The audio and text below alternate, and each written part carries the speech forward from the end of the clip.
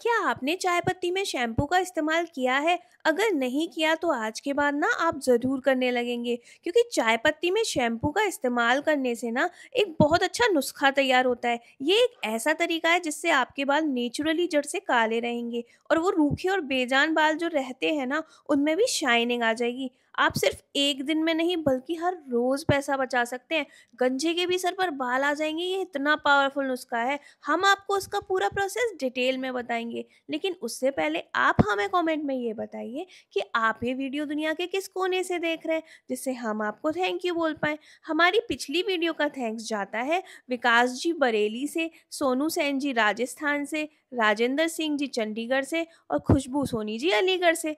तो आप देख सकते हैं कि चाय पत्ती में हमने शैम्पू और एक ग्लास फ़िल्टर का पानी मिला दिया है। अब इसको क्या करना है गैस पर चढ़ा देना होगा और इसमें जब तक उबाल ना आ जाए ना, तब तक इसमें कुछ भी नहीं डालना है। और देखो, इसमें जैसे ही उबाल आ जाए, वैसे ही इसमें हमें ऐड कर देना होगा पाँच से 10 आंवला। अब इसको दो मिनट तक और उबाल लेंगे, लेकिन हाँ तब तक इसको चलाते रहेंगे। अब क्योंकि इसमें चाय पत्ती फूलने लगेगी तो वो नीचे बैठेगी। अब इसमें डालेंगे हम सफ़ेद चावल। सफ़ेद चावल ज़्यादा नहीं डालने, बहुत कम मतलब एक बड़ा चम्मच सफ़ेद चावल डाल देना। अब इसमें डालेंगे मेथी दाना, लेकिन ध्यान रहे, जब भी हम मेथी दाना डालें, तब इसकी फ्लेम ना बहुत ज़्यादा हाई नहीं होनी चाहिए। हमेशा मीडियम या लो फ्लेम पर ही मेथी दाना डालें, जिससे वो अपना बहुत अच्छा सा असर छोड़ेगा।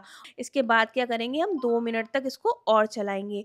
अब दो मिनट तक चलाने के बाद इसमें हम डालेंगे करी पत्ता, जिसे आप मीठी नीम भी बोलते हो। हमने हमने तो सूखा करी पत्ता डाला है क्योंकि हमने स्टोर करके रखा था।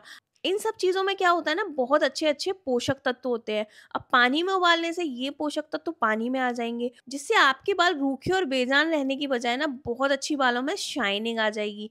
इस पूरे मिश्रण को लगभग 20 मिनट तक उबाला जाता है। उसके बाद क्या होगा? इसको ठंडा करने के लिए रख देंगे। देखो, चाय पत्ती फूल गई है और बाकी चीज़ें भी देखो अच्छी तरीके से गल गई हैं। चावल हमने जो डाले थे, देखो, फटाफट से टूट रहे हैं। अब देखो, मेथी दाना दिखाते हैं। मेथी दाना भी बिल्कुल देखो, एकदम मसलने पर ना बिल्कुल टूट रहा है। तो अब देखो, इसका मतलब हमारा ये मिश्रण तैयार है। अब इसे ठंडा करने के बाद ना हम अच्छे से इसको छान लेंगे। हमने एक बाउल में इसको निकाल लिया है।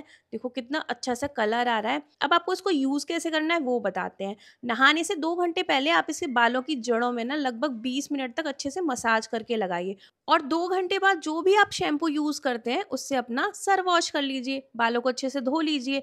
हफ़्ते में ये दो से तीन बार यूज़ कीजिए, लेकिन धीरे धीरे करके ना इसकी फ्रीक्वेंसी कम कर देना, हफ़्ते में एक ही बार यूज़ करना। तो हम तो ये नुस्खा यूज़ करते हैं, हमारे बड़ा काम आता है, कम दामों में बन जाता है, आप भी इसे यूज़ करें और हमें कमेंट में बताएँ कि आपको कैसा लगा। और अगर आपको ये इन्फॉर्मेशन पसंद आई हो तो हमें लाइक और शेयर करना ना भूलें, हमारे पेज को भी फॉलो ज़रूर करें। हमारी वीडियोस को इतना प्यार और सपोर्ट करने के लिए बहुत बहुत दिल से धन्यवाद। चलिए मिलते हैं अगली वीडियो में एक नई रेसिपी या फिर नई ट्रिक के साथ, तब तक के लिए tata bye bye Radhe Radhe